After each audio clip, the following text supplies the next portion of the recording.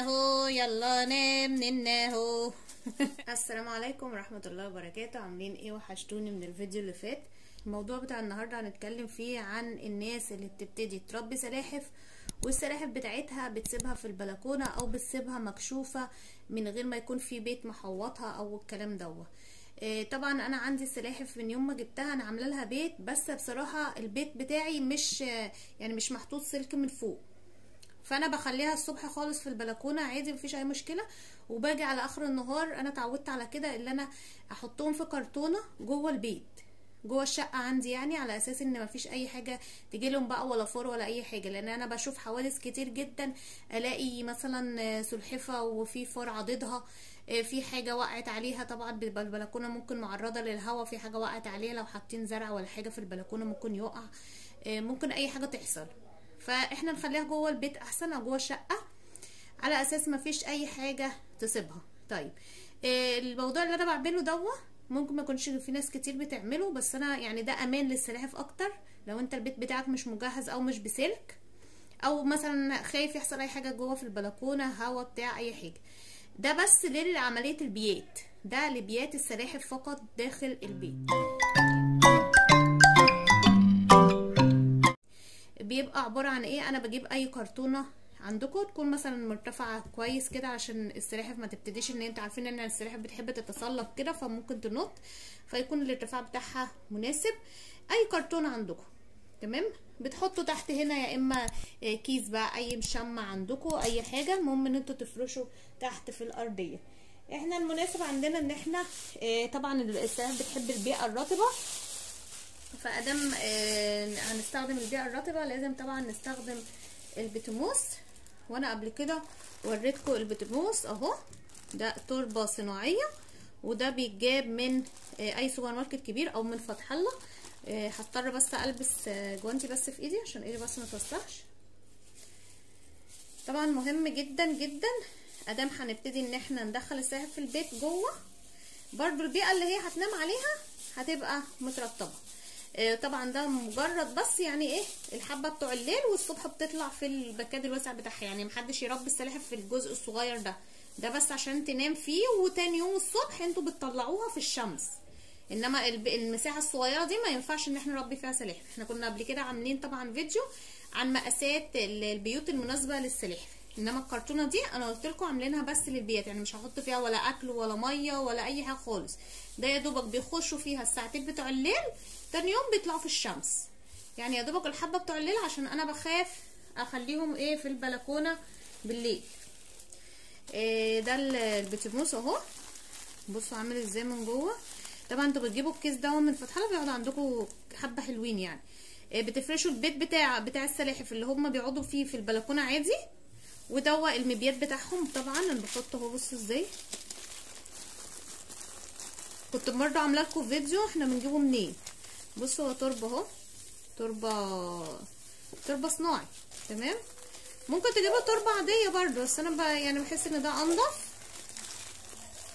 مش هيبقى فيه شوائب وما فيهوش الحاجات اللي إحنا إيه.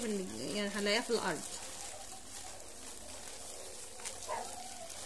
هما طبعا ما ينفعش إن إحنا نحطهم على الكرتون على طول كده أو على كيس على طول.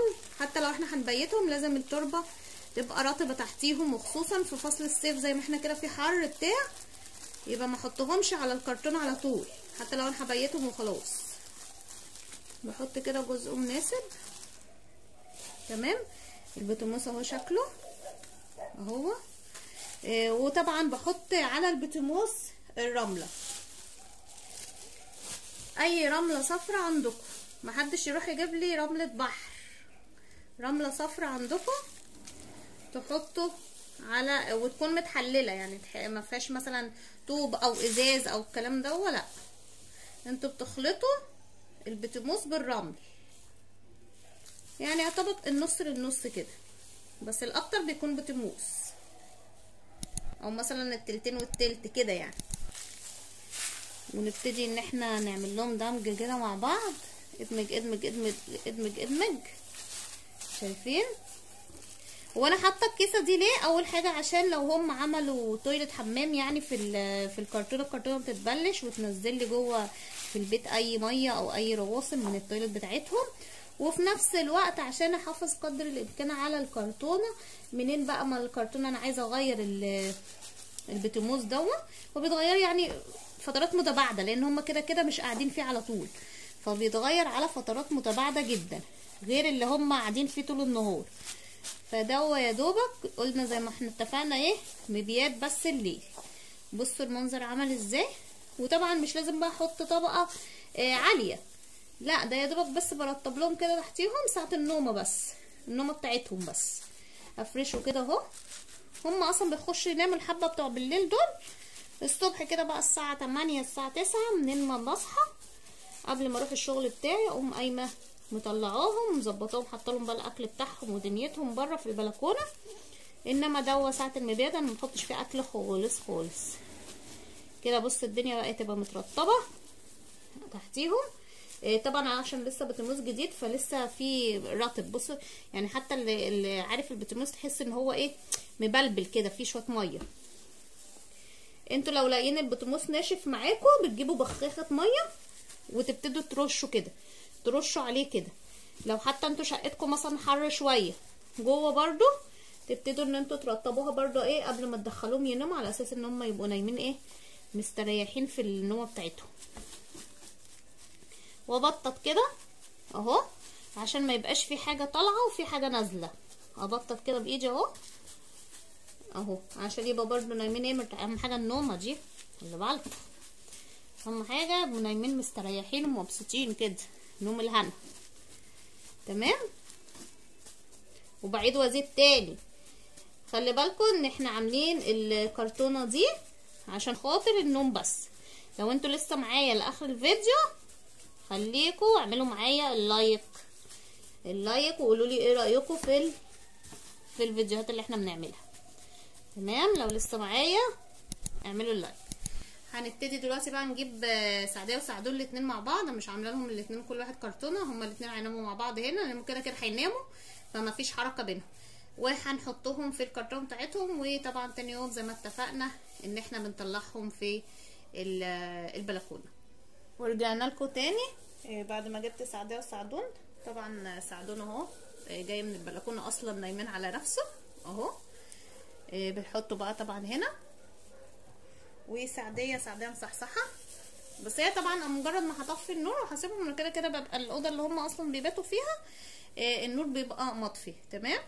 فهم خلاص كده هم بيبقوا على على التربة الرطبة زي ما قلت لكم. قلت لكم بس أنتوا سواد الليل وبتطلعوهم تاني يوم. اقعدي بقى ساكتة انت عشان انت إيه الشقوه بتاعتك دي. بص نناهو يلا نام نناهو لو وصلتوا معايا لآخر الفيديو ما تنسوش بقى إن أنتوا تعملوا like وكمان تكتبوا لي أي حاجة تحت في الكومنتات عايزين تسألوا عليها. واستنوني في فيديو جديد وباي باي.